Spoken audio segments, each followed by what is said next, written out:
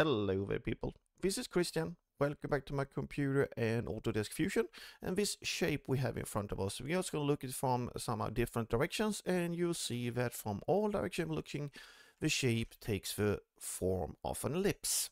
So this is what, uh, according to my knowledge, is called an ellipsoid, which is basically a squished sphere or stretched sphere, depending on how you think of it.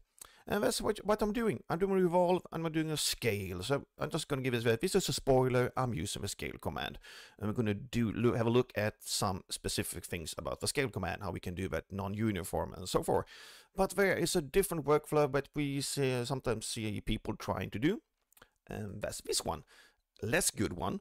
Uh, it's really basically sketching parts of an ellipse and then doing some extrude. You see I'm using a lot of steps here with the Infusion, doing surface extrude and a loft and stuff like that. And yes, it creates something that looks close to an ellipsoid, but there are some problems, problems with the curvature. And yeah, you can do it this way. There are more steps.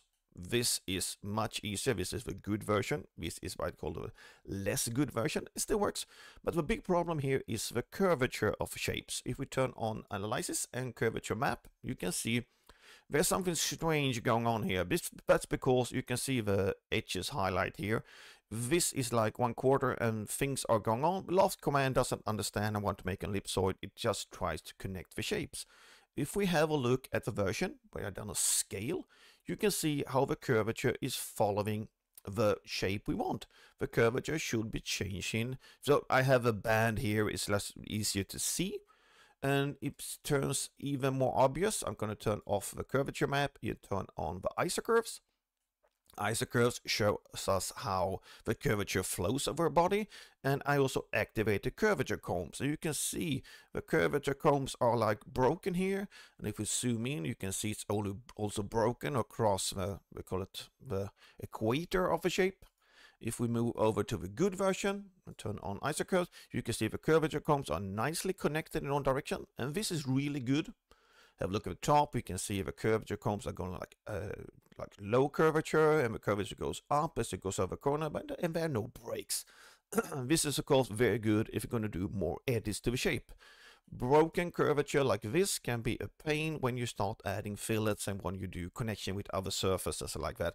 And of course, the most important part, this is a much shorter workflow, but it has this scale command, which you have to do some thinking about how you use it. So I have an empty design file here and I'm going to deliberately make a sphere. I'm going to make it slightly off center just to show you some stuff with the scale command. So I'm going to create a sketch. The first step is of course a circle because we're going to create a sphere. Somewhere out here I'm going to do a line. I'm not telling you where all the commands are. You need to know basic usage of Fusion before you do this. So like this, the first thing I'm going to do, I want to give this circle a diameter. So I'm going to D on the keyboard and select this. And I'm to call it uh, S uh, circle outer diameter or sphere outer diameter equal to, you. let's just do it 50 millimeter. It's not important. The thing that is important, I don't need millimeters. I'm, I'm working in millimeters, so I'm to stand in millimeter. If we work in inches, you change millimeter to inches instead. Let's do it 50. So Fusion will give this a 50 millimeter dimension. You can see when I place the cursor over. So remember this, this uh, parameter, because all our parameters are saved and I named it, has a unit. It has a unit of millimeters. And now I'm going to dimension, as I said, I want this slightly off center, 35. And let's move it further in this direction. Let's do it 45.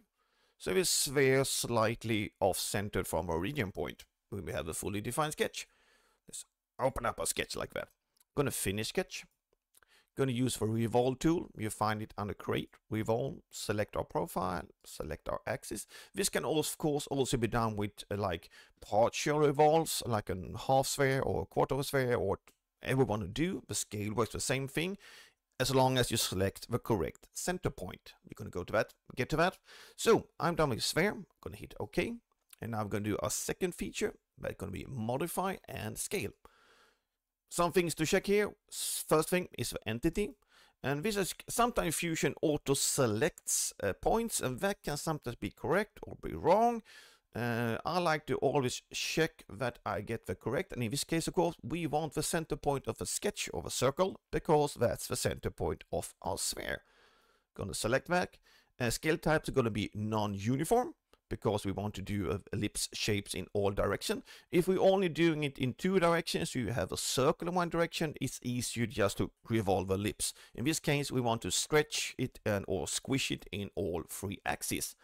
So let's start with the x-axis.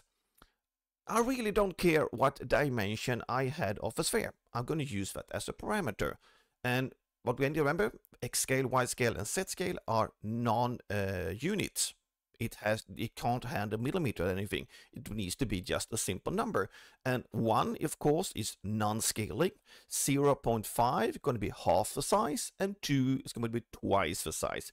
But we, need, we do not need to care about that scale factor, because we're going to ask Fusion to calculate it. So let's say in the x direction, I want it to be 130 millimeters. And here's the important part uh, I'm going to divide this with my sphere parameter, and the sphere parameter had a millimeter unit. So I'm going to type in millimeters here. You see it gets red because Fusion says, I don't handle millimeters. No problem.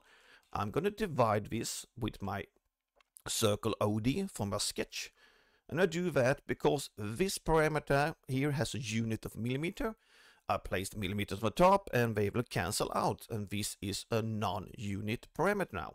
Y scale, uh, so Y is back to front.